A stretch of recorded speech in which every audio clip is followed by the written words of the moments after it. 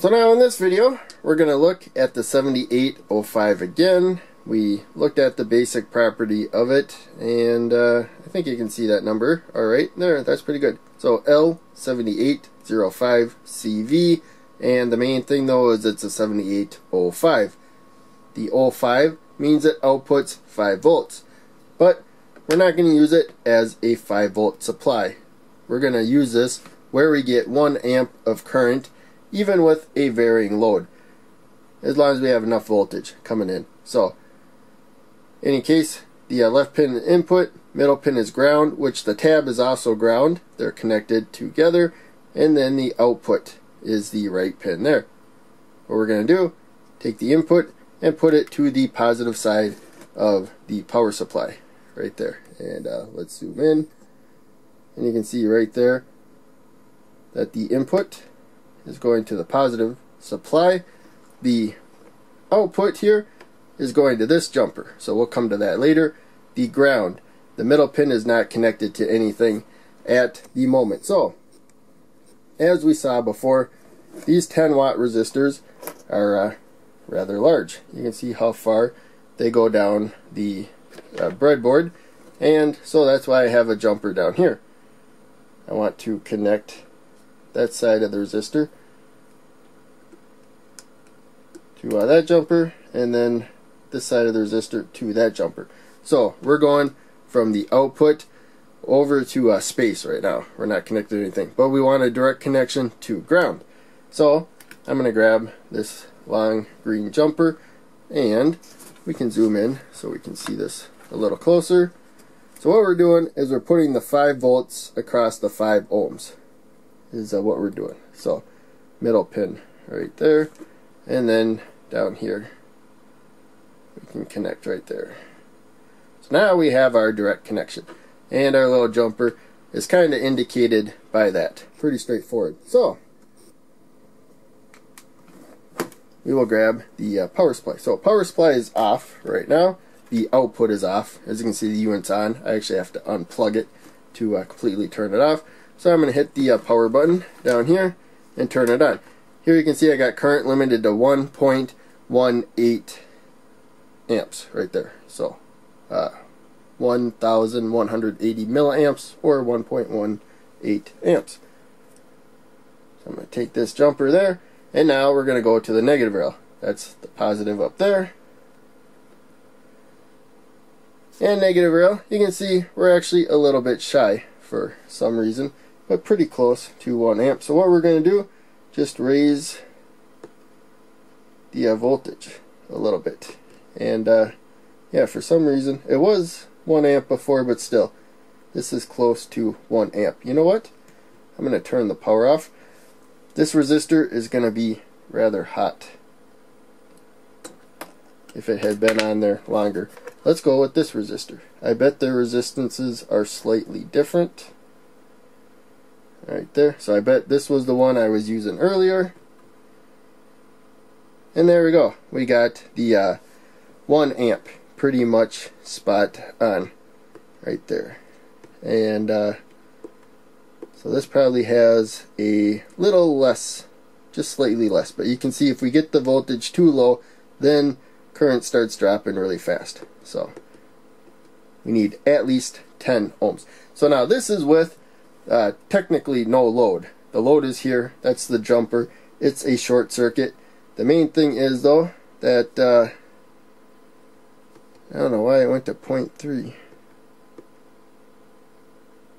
We got one. I should not be doing that. Must be getting too hot. So, that's a short circuit. Maybe the uh, unit here was getting too hot. So what we're going to do is take uh, this resistor here, give it some resistance. It's working fine. So I'm going to the negative rail. I should probably show that up there. There we go. So we got over here. And then, uh, yeah, that's hot. I just touched it with my finger. And uh, so heat sink one. Should probably use the heat sink one. I have another one. So does not want to go in there and the output's on. unfortunately does not want to go in there. There we go. It's bent out of shape, but oh well. Now we hit the power. So we only got 9 volts. We got to go up. So we got the load. We got to go up to a 14. It was working pretty good. Now 15, 16. We are at 1 amp again. So what that tells me was that the uh, we need more voltage because we actually have a load right now. So what that tells me was that the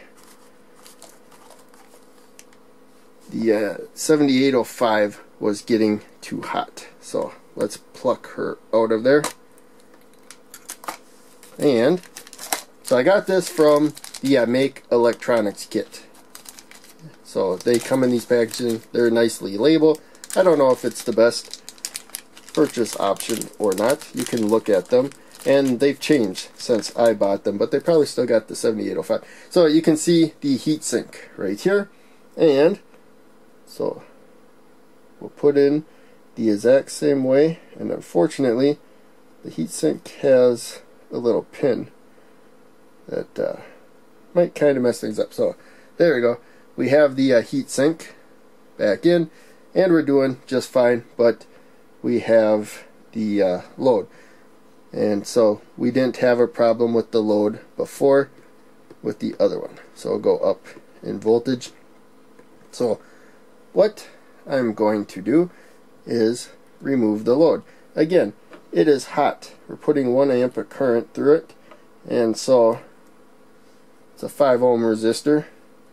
So you need 5 volts across it, and that is 5 watts. They're rated for 10 watts, but to the touch, they're still really hot. So let's uh, let's do the short again. We will go down. And uh, there we go. 10 volts, doing just fine. 1 amp. And uh, we raise this. You can see it's holding the current really steady right there. So I think that heat sink is really helping. As the voltage goes there you go. Current went way down. So yeah I think we hit the uh, temperature limit but it has the heat sink so it is higher. So in any case hopefully that all made sense. And these wires they're low resistance. And so they're not building up heat you can think of it kind of as friction. The current that the resistor lets through, it's really slowing down current from what the power supply wants to put through it. And even though it has a limit, you know, it's pushing hard to uh, get the current up to that limit. And so the uh, resistor and the uh, 7805 are limiting the current, not the uh, jumpers. They're letting whatever goes through pretty much. So they got a little bit of resistance. They build up a little bit of heat. I think one amp is their maximum current, but uh, for the most part, they don't get uh, terribly hot, even with relatively high current going through them. So I can touch them right away.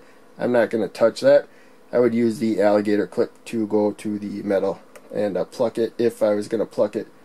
Maybe we'll look at thermal images in an upcoming video. But uh, any case, hopefully that all made sense. Hopefully I didn't make any mistakes. I had some unexpected stuff here, but I think I handled it pretty well. So this unit, if you get one of these, that turns the light on, that turns the light off. So if I accidentally hit that at the wrong time, the up arrow, the uh, backlight will come on. But uh, that's still pretty nice. It's really easy to get the uh, backlight on, on that unit. So, any case, that's it. Please check out one of these other videos that I'm posting on the screen. Click subscribe click the bell and uh, make sure you watch uh, some more videos. That would help a lot. Thanks for watching.